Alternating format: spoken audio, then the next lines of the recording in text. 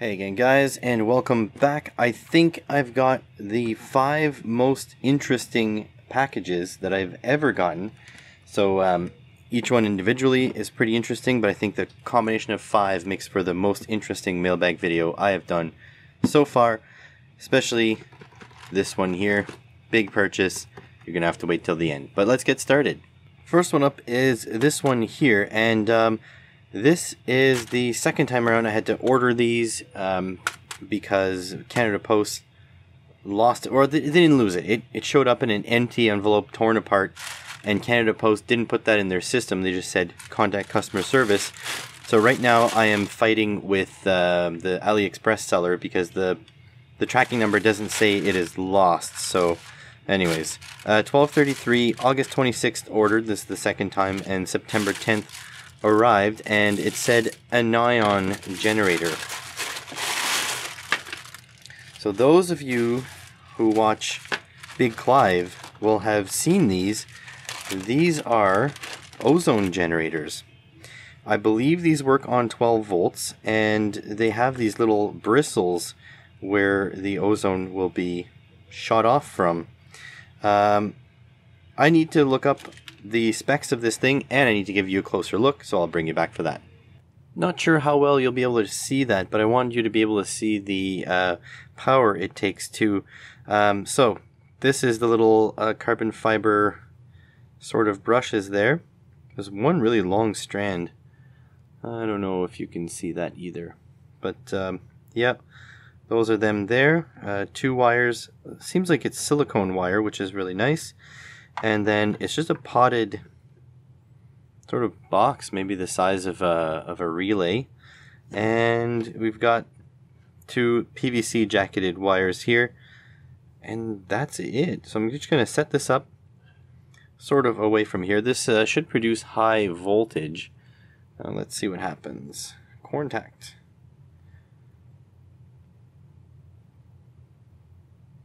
Like no current. It's not it's not drawing any current at all. Are my connections good?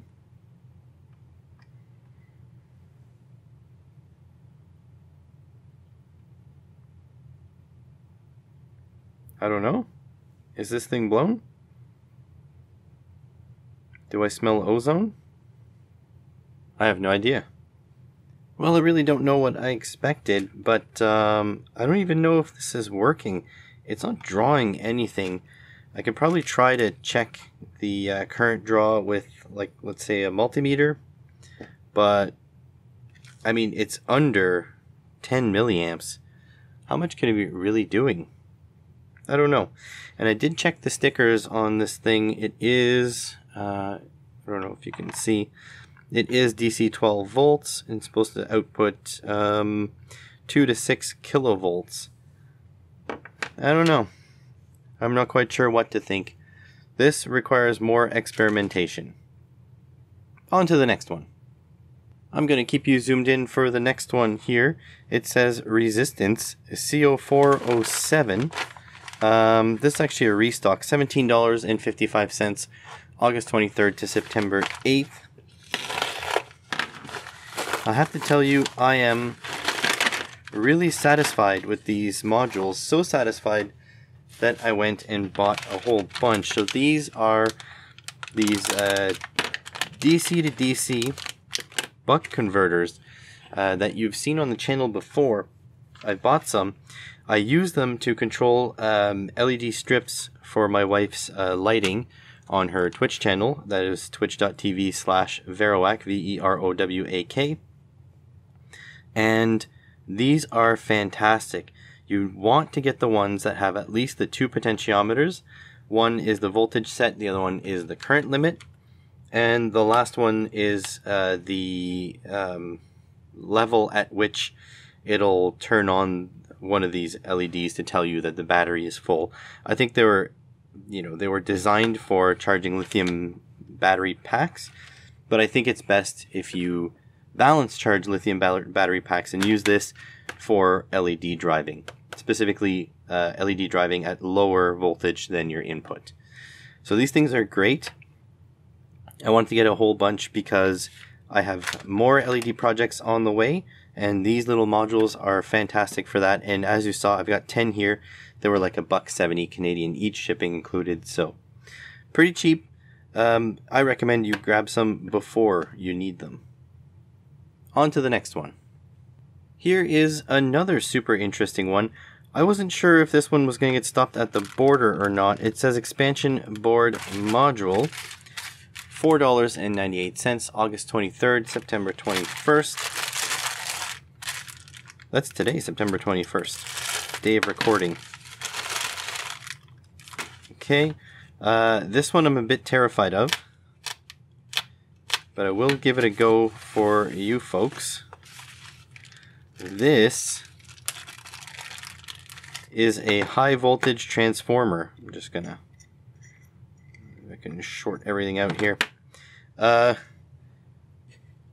I don't know why I bought this. Uh, I'm a little bit afraid of high voltage. Oh look, it's a hollow tube. Huh, it's all glued in there. Um, yeah, I'm a little bit afraid of high voltage. And this is, it's supposed to be a one is it 10,000 kilovolts? Give me a second. Well, it says a thousand kilovolts, uh, so that's a million volts, is it not? That's a lot of volts. Um, let's put this somewhere relatively safe. Uh, it also says don't use this at no load, uh, so that is something. Uh, I'm going to put 3.7 volts. I'm going to put a current limit of, maybe you should see what I'm doing. Uh, geez, I don't know. Uh, half an amp. Ugh. Bit spooky. Uh, oh yeah, maybe I should tape this down so that doesn't jump up and kill me. Now, a million volts. That's dangerous. I also think this is a million volts, you know, with air quotes. But we will treat it with respect until we know any better. It says it can jump 1 to 2 centimeters. The arc, that is. My in shot? I am in shot. Good job.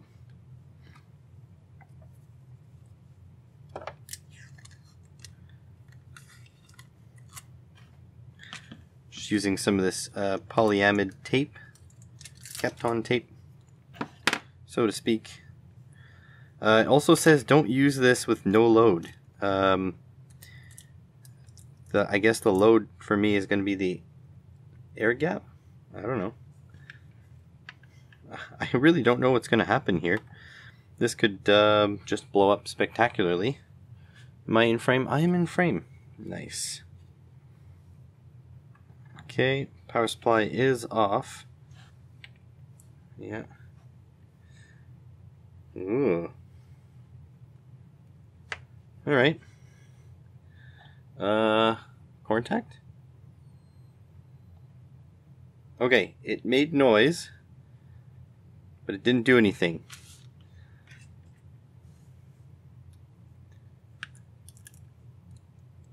Just like squealed a bit. I don't know if these wires need to be stripped. Jesus Christ. that scared the crap out of me. okay, they say don't use it too long. Let's see here.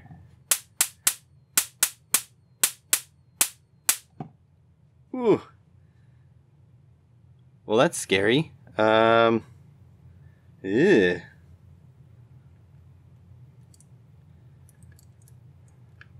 Further apart, maybe? Uh, let's try this again. Nope, too far apart at 3.7 volts. This is scary. I'm going to put uh, 7 volts in. 7, enter. And contact. Ooh, it's actually current limiting at 1 one volt. Ooh. Uh, let's go 3.7 again. And put the current set to 1. Okay, here it goes. Ready? No. Too big of a gap. Well, this thing is terrifying. Uh, I need to find something interesting to do with it. I don't know if it needs to be discharged or anything. Maybe we'll try to get them closer together and... Yeah, this thing's terrifying. I don't know why I bought it. Maybe just to scare myself, but uh, let's move on. Oh. You know what's funny? I think I smell ozone. How is that possible that the non ozone making device is making ozone through its use and the ozone making device didn't? Whatever. This thing is terrifying. Let's move on to the next one. Something a bit safer this time. This next one here should be pretty safe. Uh, this one was sent by banggood.com for my review. Um, and that's because uh, I don't know if you've seen it yet. I don't know if I've posted it yet, but uh, I am doing experiments that one of these would be useful for. Well, some of you know already what it is. Just by the box. Oh boy. Yeah.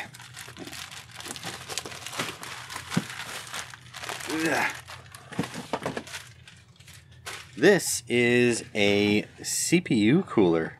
Um, ooh, LGA 2066. Okay, AM4. Okay. Um, so, yeah, this is a CPU cooler. It's usually made to keep computer processors cool. It's a water cooler. Um, and the reason I wanted this thing is because I actually made my own water loop. And I made my own water loop that's roughly the same price as this thing. And it's actually the same dimensions. It has the 220 mil fans. Mine doesn't have this uh, RGB color change stuff though. But I wanted to see if mine is any better than a pre-made one. So if a pre-made one is the same, uh, it's much less effort to just buy a pre-made one. Let's see here. We got some mounting brackets. Oh, it's all one. It's all one continuous piece. Okay, there's no heatsink compound, which is good.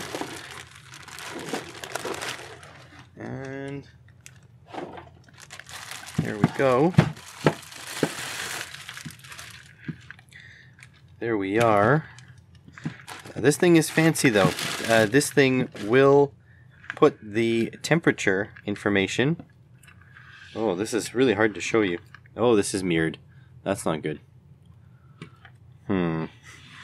Well, anyways, the temperature information will be on this thing here. And then uh, these fans have RGB and they blow through like this. This is everything is the same as mine. So the the plan is to run the same LED or the same heat source on both mine and this one and see which one keeps the package the coolest. I wanted to plug this in to show you, but there's a lot of stuff going on here. I think this is the LEDs. Think those are the LEDs. I think this is the uh, power for the pump. But I don't really know what it's going to show you. It's just going to circulate water into here. This is already filled. Can hear a little bit of little bit of sloshing in there. Um, there's going to be the proper water with the proper uh, antibacterial agents on the inside there. These should be filled for life. Yeah, right there there's a bung here where you can top it up if you really need to. But yeah, I thought I'd uh, take a look at this and perhaps um, maybe put it install it in my computer if it's uh, if it's any good at all.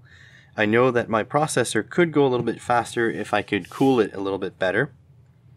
But yeah, want to do some experiments with it first. So, if you care about seeing those experiments, let me know down in the description below. I think this thing is about a hundred bucks Canadian, something like that. And that's more or less what I've paid for mine, for, for my custom setup. Um, except here, you've got everything in one box you got RGBs if you want. You can control this with Arduino to change the color based on the temperature. Um, I have my 3D printed brackets, which should fit this because it's all universal. Um, so yeah, this is, and it's all, you know, it's all in one piece. Let me know if this interests you at all.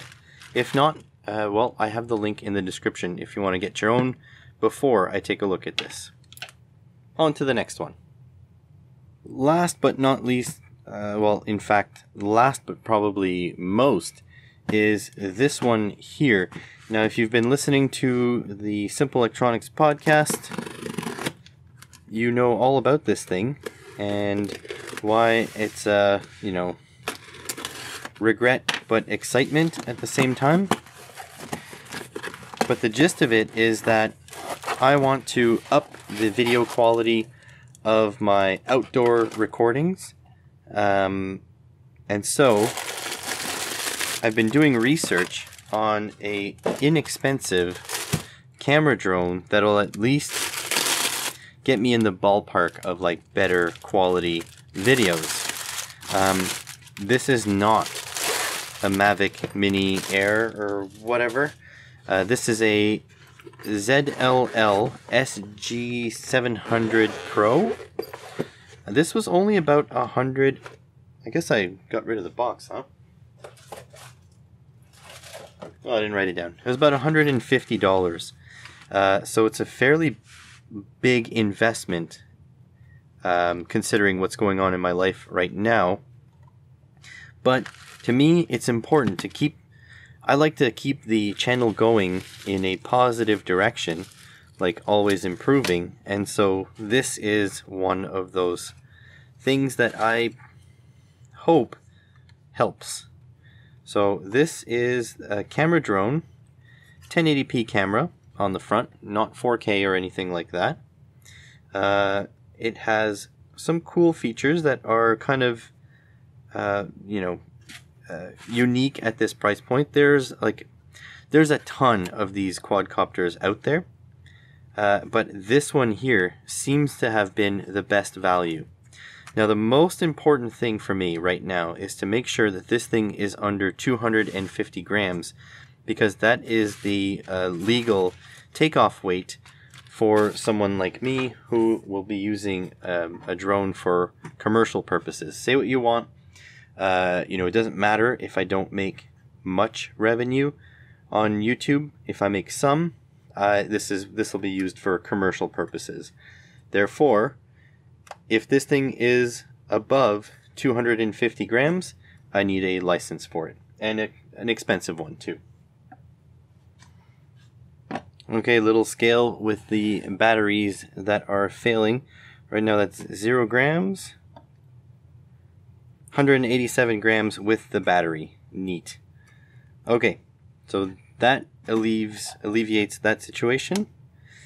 Now, the other thing the other thing I was checking out is that this thing would have brushless motors and I don't know if you can see there, those are brushless motors, so that's good. That's something you want to check when you're uh, buying a drone. The brushed motor ones, they work just fine. They're less efficient, so that's that. I also got a package with four batteries, which I have here. Four batteries. Two, three, four. Okay and this thing is the controller. Now, the this controller, ooh, it turns on by flipping down the things. Interesting. Now, this controller accepts your cell phone because you're supposed to. What are you complaining about? You're supposed to put your cell phone in here so you can see from the camera. Oh, interesting. Little legs that come out. Uh, I don't know if it'll work without the camera. And also, I don't know. Yeah, this this won't be standard controls. It definitely won't because look at the sticks; they return to center. This will be sort of like the DJI, where you you know you press up and let go, and it'll go up a bit and stop. This is not full manual control. It looks like it has. Actually, I really don't know what all these buttons do. This is something I'm going to have to have some time with.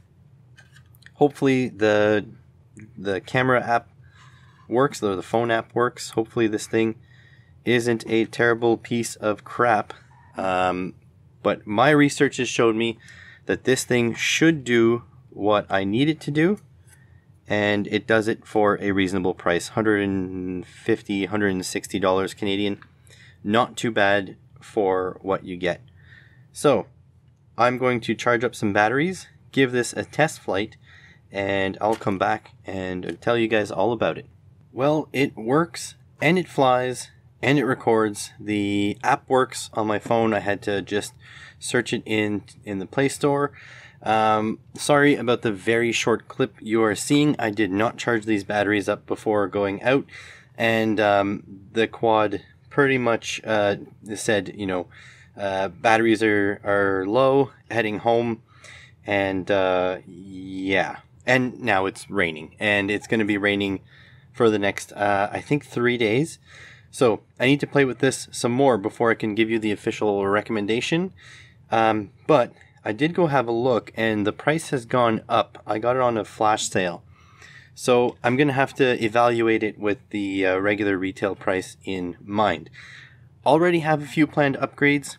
For example, um, I wouldn't bother getting the case. I would probably design my own. Uh, simply because uh, it's very padded around here, but this this is just basically the cloth here. So yeah. Uh, also, it doesn't come with very many uh, of these spare blades. Just uh, you know, two blades of each direction. So if you see this one's got the two lines in it, and this these ones have the single line. This is a type. You know, there's a type A and a type B. That's a type A. That's a type B. But it looks like these are the same as the Mavic Mini. I'm gonna have to order some uh, Mavic Mini you know Mavic Air Mini, you know the tiny little one. Uh, I'm gonna have to order some of those blades and see if they're the same. They look the same, so it's probably using that. Why would you develop your own blades if uh, someone else has already done it? So yeah, keep an eye out on the channel for um, some footage. It'll probably be snuck in there before an official review will be done. So far, uh, looking at the video quality, even in really poor situations and I haven't done any tuning to any of the settings, it looks decent. And decent is what I was looking for. And so this is it. This is today's mailbag video. Um, I'm actually, you know, already have my head swirling on what I'm going to be doing with these things. Um, these guys will need an investigation because I can't tell if they're giving off ozone or not. And it's unfortunate because these are the second round of these that I buy, and the first ones, the only ones that will actually show up. Um, these guys here, I already know they're great. I might make a video specifically on these, showing how they work. These things you guys should all have in your arsenals. And uh, special thanks to uh, Banggood for sending me this thing here. It's going to make my uh, cooling and uh, thermal transfer videos really interesting. And uh, thank you to my Patreons because really these mailbags are sponsored by you folks. And um, this drone here represents uh, a step forward, hopefully, in this YouTube channel that is only possible with your support. Thanks for watching.